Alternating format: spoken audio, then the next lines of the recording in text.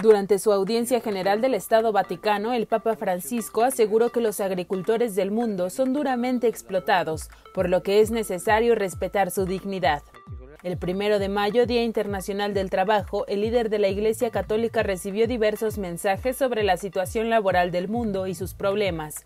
Especialmente llamó su atención la situación de los trabajadores agrícolas, incluidas muchas personas migrantes que trabajan en los campos de Italia, relegadas a los márgenes de la sociedad y en condiciones de explotación inaceptables. El Vaticano recordó que Francisco hizo oración el 30 de abril por los trabajadores de la cadena agroalimentaria que se han visto vulnerados por los riesgos que conlleva la pandemia de COVID-19, además de que sufren explotación de sus empresas. El Papa finalizó pidiendo que sean reconocidos los derechos de los trabajadores y que en Italia se evite el caporalato, que es una forma ilegal de trabajo agrícola que reúne mano de obra a bajo costo.